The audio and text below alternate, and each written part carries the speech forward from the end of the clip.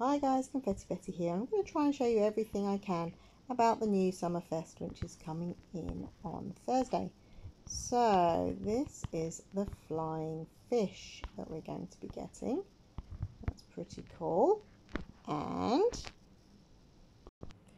we were shown this pet and this pet. And I have a sneaky suspicion that those two silhouettes are a pet on another picture. Courtesy of Adopt Me. This is the front cover and you can see there the hot dog and something that looks very similar to the fish that we got before. This is a kind of fish with feet. It's got more of a body, it's not just the fish's head this time. Not really sure what that is, but it does look quite cute.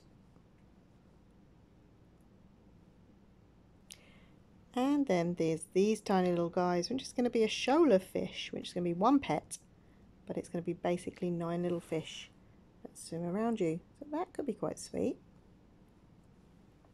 And there's also going to be new cars and accessories for pets, I assume. Um, and apparently there's going to be quite a lot of new stuff in this beach area that they're going to be doing for the Summerfest. And of course we'll get games and a currency of beach balls that we have to collect. I assume to buy all the new stuff that they're going to be showing us. So this is all coming in very soon and it looks like it's going to be lots of fun. Confetti Betty saying bye bye.